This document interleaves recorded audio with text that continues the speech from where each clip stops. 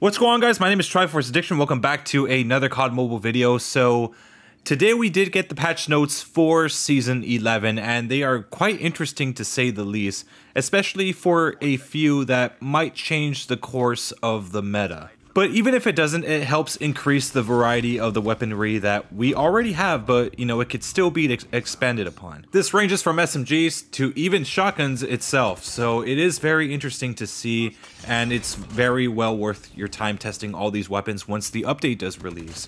I'm assuming that the Korean version and the Vietnamese version will come first, uh, during the weekend, and eventually during the weekday around maybe Monday or Tuesday, we should be able to get our, you know, in-game update. So as per usual, we are going to go over all of the changes for multiplayer mainly, and I'll give you guys my impression within each of these changes. So anyways, let's get started. So first off, we start off with a very unexpected change, which is the BK-57. So they did some adjustments to the Ranger barrel. They did increase the range bonus from 20% to 35%, acting kind of like a makeshift marksman barrel.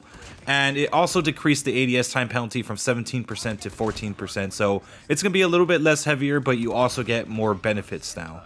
As for the 7.62 ammunition, it improved the damage profile from 27 to 22 all the way to 29 to 24. So I did some testing on this one. Trust me, it's not really much of a gigantic change.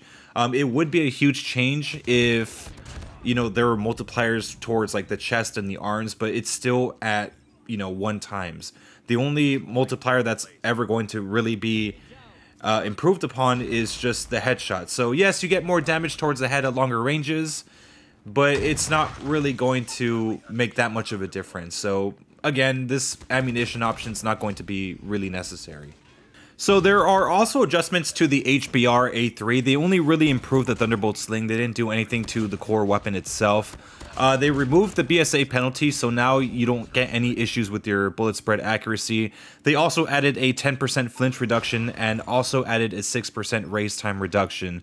So I'm assuming this doesn't really have anything to do with ADS speed, but I think it might have to do it might have something to do with the sprint to fire speed instead. So now we move on to one of my personal favorite changes for the season, which is the AS-Val. So as you guys know, the AS-Val is one of my, if not my favorite assault rifle within this game, and I've been using it a lot this entire season. And what they did is that they improved the range profile from 620 to 30 meters to 7.5, 20, and 30. So basically, the first range was the only thing that got improved and only got like improved by like one and a half meters. It's whatever, no big deal. But also, for the extended mag, they also increased the capacity. So instead of having 35 rounds after equipping it, you now get 40 rounds. So yeah, much more ammo uh, that you could use for the extended mag. It's amazing. So now we move on to a minor change for the Peacekeeper MK2. It did get a range uh, increase from 13, 21, 40 to 13.5, 23, and 40. So basically a slight improvement to the first range and as well as the second one by like two meters. I don't really think it brings it back to how it was before, but it's a slight improvement nonetheless. So for all of you guys that main the Peacekeeper, I mean, there you go. It's something good for you. Another change is the CR56 AMAX. They decreased the bullet spread as well as improved the smoothness of the initial recoil. So, um, to my knowledge, I used the, C the CR56 AMAX a lot, and I used it a lot in the past as well. Um, the recoil pattern wasn't really that bad. The only complaint that it had was that maybe it did kind of like shift a little bit too hard to the left. So I'm hoping that they actually do fix that in terms of the initial recoil. But overall, I mean, it's not really a hard weapon to control. But yeah, it kind of raises my, I, I guess, my concern. Um, hopefully, it does fix that issue. So now we move on to a change that I think really only applies to Battle Royale since, I mean, multiplayer, the DLQ already could one-shot headshot from any range. But the headshot multiplier for the DLQ 33 did get improved from 2.3 times to 4 times. And from my knowledge and based on what my friend told me, he did say that I think the Rytec and the ZRG are like the only ones that could one-shot headshot in Battle Royale. So this type of multiplier buff might actually help the DLQ in Battle Royale, but in multiplayer, it's more or less going to stay the same. So now the final change for the left half of page one for the patch notes, uh, we do have the HG40 uh, it, all they pretty much did was decrease the recoil. I mean, it was already it was already pretty stable. I guess they had they found some sort of reason to do so. But whatever. Maybe it's a, another battle royale change, but multiplayer it wasn't really much of a huge issue. So now we move on to the second half of page one, which is the UL 736. It improved the ADS time from 380 milliseconds to 330 milliseconds. It also improved the sprint to fire delay from 180 milliseconds to 170 milliseconds. And it also decreased the ADS speed. Um, I, I think that, oh, not sorry, that's the ADS spread. Sorry, I read it wrong. But yeah, they just pretty much overall increased the speed. They didn't do any changes to like the range or anything like that. And I know a lot of people are probably concerned about this, but keep in mind the UL really starts off with only like 30 uh, bullets, and it could only be improved by, I think, like 50 or maybe a little less.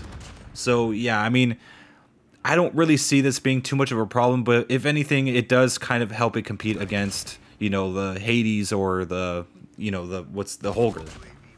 So for the MAC-10, at least in multiplayer, they did improve the range profile from 51320 to 71420. So uh, I guess an increase of like two meters within the first range and just one meter within the second range. That could help a little bit for the Mac 10. I'm not really that sure. It might cause a lot of issues, but again, I could be wrong about that. As for BR, they decreased the damage profile overall, so yeah, whatever. So we got some pretty massive changes for the AGR 556 SMG. It improved the penetration. I didn't even know it had penetration. Don't most SMGs not have penetration at all, but I guess whatever. Uh, they, impre they improved the range profile from 12, 20, 30 meters to 14, 20, and 30. So really just the first range got improved by like 2 meters. It's whatever. Uh, for the 30 round uh, 5.56 mags, they also decreased the ADS time penalty from 18% to 12%. So it's going to be a little quicker. Um, as for the extended magazine, something that I've been asking for for quite a long time, uh, they also they also extended that one. So I believe it's going to make it into a 40 round mag. So yeah, you're going to have a lot more ammo if you choose to go the SMG route for the AGR. So we have another surprise improvement for the Razorback. It did get increased movement speed from 4.88 meters per second to 4.92 meters per second.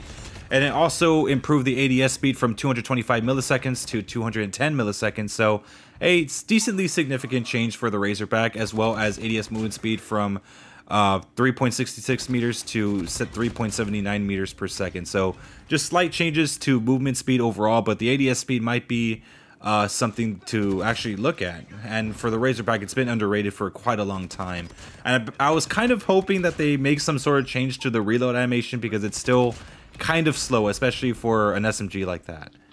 So another surprise change for the PDW 57, it did get improved damage from 27, 22, 17, 15 to 27, 24, 17, and 15. So now, um, you know, based on the multipliers that I did see for the PDW 57, uh, you're going to be able to four shot in the second range as well. So within those within those 16 meters, you're gonna have a lot better uh, four shot capability. And as for the range, it also got improved. Uh, it went from 9 15 28 to 10 16 28. So, yeah, a slight improvement. You know, both of those ranges got improved by one. But yeah, a pretty decent change for the PDW. So now we move on to the last change for the first of two pages of patch notes, which is the GKS. So the improved damage, well, they improved damage from 33, 29, 24, 19 to 33, 32, 24, 19. Uh, they also decreased the range by 820, 35 to 916, 35, and there is a perfectly good reason for that. Uh, so as you can see, um, obviously the damage before on the second range was 29. Now it got increased to 32. That is just enough for you to three shot around, you know, just the upper body for the GKS. So they had to lower the range by four meters, at least on the second range, to kind of balance it out because if they kept it at 20 meters, it would have been. So now we move on to what is perhaps the biggest change for season 11, which is the Fennec. So they improved the range profile from 12, 17, 24 to 13, 18, 24. This only applies to multiplayer. And for BR, they did kind of like the same thing. And for the biggest changes is with the multipliers. So the headshot multiplier got improved from like 1.1 times to 1.3 times which I believe makes the damage up to 29 in close range. And they also improved the chest multiplier from 1.1 times to 1.2 times, as well as increasing the upper and lower arm multiplier from 0.8 times to 1 times. So what this basically means is that the Fennec might actually make a comeback for the second time and this time it might not be that pretty. And it's, and I don't know if this actually applies to the Akimbo Fennec as well. I'm assuming people are still going to use the single one. I'm not sure if you know Akimbo will actually change anything. But yeah, having those multipliers improved by that much, you're going to be able to four and five shot very consistently now. So as for these two next changes, I decided to bunch them together since they're more or less the same type of change. So the Echo got improved slug damage profile from 54, 47, 30 to 28 all the way to 84, 77, 60, and 58. That basically means with the slug rounds, you're going to be able to two-shot from any fucking range with this thing. So it's crazy. I, I believe that they did that to kind of like match the slug round potential that the JAK-12 has. Because I know you could two-shot with that one as well from like almost any range. As for the Striker, uh, they did pretty much the same thing. They also improved the reload speed by 30%. The only difference to this one is that on the final range, you're not going to be able to two-shot anymore. And keep in mind, like, the damage multipliers are all over, I think all over the body. They're just, like, at one time. So, yeah, unfortunately, within the final range, you're not going to be able to two-shot. But the improved reload speed is actually a big plus because obviously affects the weapon overall. So putting fast reload with sleight of hand mixed with this new speed, oh my god, I can only imagine. So now we move on to perhaps one of the most unexpected changes for this patch notes, which is the crossbow. So they improved the bolt speed from 120 meters per second to 150 meters per second. I think that's the right unit of measurement. Um, they also increased the bolt speed for Battle Royale and zombies as well. And they also improved the damage for multiplayer from 80 to 100. So from what it looks like, you're going to be able to one-shot from anywhere on the body. I'm not sure if there's like some sort of range drop-off for the crossbow. I'm not really too certain on that, but yeah, it's pretty much going to be a killing machine now. So now for a change that definitely puts a massive smile to my face the kilo bolt action. So they decreased the ADS time from 380 milliseconds to 360 milliseconds. So it's a pretty big change, especially for a marksman rifle. And they also improved the reload speed by 15%. So it's going to be a lot faster. And this can help if you decide to use stopping power rounds or the thermite rounds and even the fast reloads. So yeah, overall a huge speed increase. Hopefully um, I could finally use stopping power reload with just, you know, with normal speed instead of like having it be like slower than snipers. So yeah, a much welcome change for this marksman rifle. So now we move on to just all the various changes for score streaks and you know grenades and everything. So the VTOL got improved durability from 701 health to 900, so that's a pretty big one for the VTOL. But I'm assuming it did get shot down pretty easily, so I guess that's warranted. Um, as for the Swarm, the cost increased from 1100 points to 1200 points, so you're to have to get at least one more kill before you actually get the Swarm. As for the Molotov, a much welcome change, for fuck's sake. Uh, decreased duration from 8 seconds to 7 seconds. To be honest, it feels like it's longer than 8 seconds. If anything, it feels like a whole minute that the cocktail is like just on fire. So yeah, I'm glad they reduced it, even if it's by 1 second. Um, they also uh, made a nerf to the Shock RC. Uh, they decreased the maximum number of affected people from two to one.